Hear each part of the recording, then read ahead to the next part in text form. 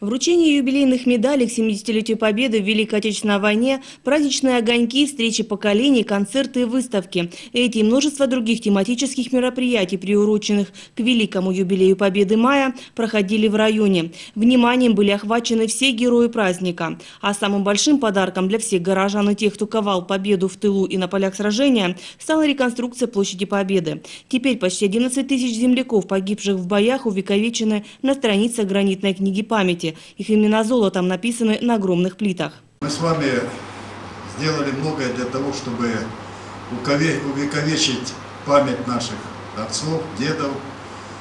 Сделали это для того, чтобы это больше нужно живым, больше нужно нашим детям, внукам.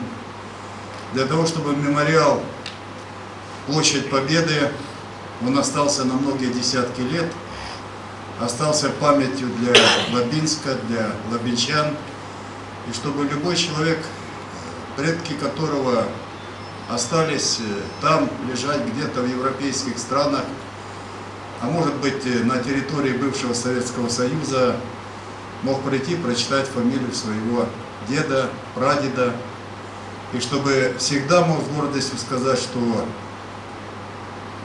мы защищали свою родину, наш род, наша фамилия.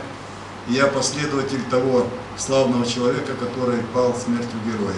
Реконструкция мемориала шла по краевой программе «Книга памяти». Много средств на строительство пожертвовали и лабинцы. Мемориальный комплекс официально открыли 9 мая. И сегодня можно с уверенностью сказать, что он является одной из основных достопримечательностей района. Лабинская площадь Победы уже признана одной из лучших на Кубани. Александр Сачиков выразил глубокую благодарность всем, кто принимал участие в реализации проекта по строительству мемориального комплекса. Нас поддерживала администрация края, поддерживал город, поддерживали уважаемые люди, поддерживали все честные патриоты нашего района, нашего края. Поэтому нам с помощью э, всех вас удалось завершить эту работу на этом этапе. И хотелось сегодня всех вас поблагодарить, сказать искреннее человеческое спасибо за ту большую работу, которую мы с вами провели, и организационную, и работу по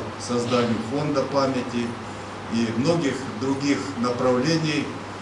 Даже если посмотреть создание одной книги, чтобы собрать все это воедино, это требовалось очень большого труда. Всем, кто принимал активное участие в подготовке и проведении мероприятий, посвященных 70-летию Победы, Александр Сачиков вручил почетные грамоты. В числе награжденных представителей духовенства, общественных организаций, политических партий, силовых структур. Также заслуженные награды получили многие работники культуры, коллективы учебных учреждений, предприятий и организаций. На мероприятии чествовали строителей, казаков, в числе награжденных и представителей средств массовой информации. Почти 80 грамот на этом мероприятии вручил глава района. Но на этом юбилейный год Победы не завершается, подчеркнул Александр Сачиков. В районе и далее будут проводиться акции в честь Великой Победы. Наталья Литвиненко, Татьяна Чистова, Георгий Сопов, телекомпания «Лаба».